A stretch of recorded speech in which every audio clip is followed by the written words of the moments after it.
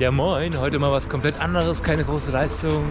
Heute hole ich mir ein Winterfahrrad. Und zwar habe ich mir beim Händler ähm, ein Gebrauchrad geholt. Also der hat quasi seine Leihräder neu aufgebaut, verscherbelt die für einen günstigen Preis. Vorteil für mich ist halt, ich habe eine 105er Schaltgruppe und so weiter und so weiter. Und habe ein Rad, das, ja, mit dem ich im Winter fahren kann, um meine guten Räder nicht runterzuhunzen, wie sonst irgendwas. Ja, da geht ab der Hase. Also es ist ein Coratec Team, keine Ahnung irgendwas und äh, ich glaube sogar Vollcabo mit einer 105er Ausstattung. Perfekt für die Stadt. Und äh, ja.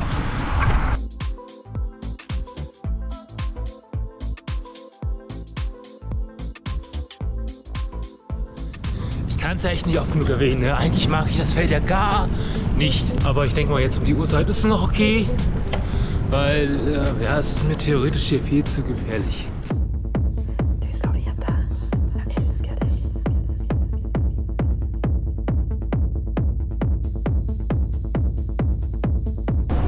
Und ich muss ja sagen, also für mich ist halt ein gebrauchtes Rad, also es hat viele, viele Vorteile für mich. Ne?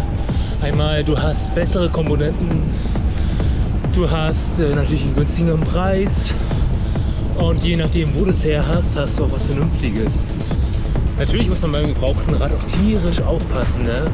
Aber zum Beispiel in meinem Fall, ich habe neue Komponenten, neuen Antrieb, neue Züge. Ja, was mache ich da falsch? Und es kommt vom Händler. Also von daher, ab die Luzi.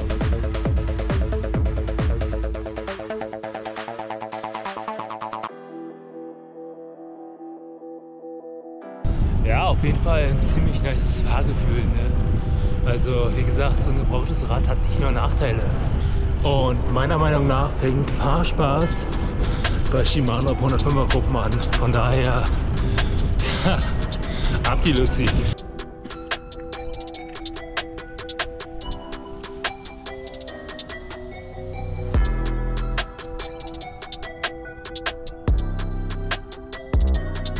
Und auf jeden Fall muss ich sagen, an so einem Samstag im November gefällt mir das Tempo verfällt viel, viel besser, weil ja, es ist nicht so voll.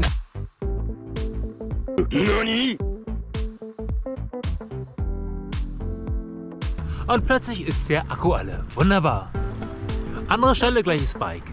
Ich habe mir ein... Ah, Hatti! Komm, auf jeden Fall nochmal als kleine Zusammenfassung. Ich habe mir ein relativ günstiges Bike geholt für einen guten Preis mit vernünftigen Komponenten, die einfach mal halten sollen. Und äh, von daher, wie macht ihr das so? Holt ihr euch lieber, weiß ich nicht, oder fahrt ihr im Winter eben im Bus mit erbarmendem Auto? Oder wie macht ihr das so? Wie steht ihr eigentlich so zu gebrauchten Bikes? Also ich muss echt sagen, bis auf meinen Airstream ist jedes Bike, das ich habe, gebraucht.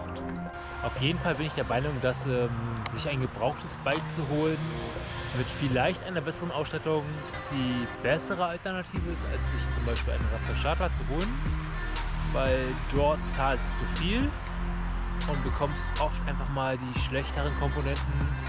Natürlich kann man sich Online-Bikes holen oder kaufen, muss es natürlich auch selber zusammenbauen oder muss zwei Jahre warten. Wie macht ihr das so? Oder fahrt ihr im Winter Fahrrad oder fahrt ihr Rolle?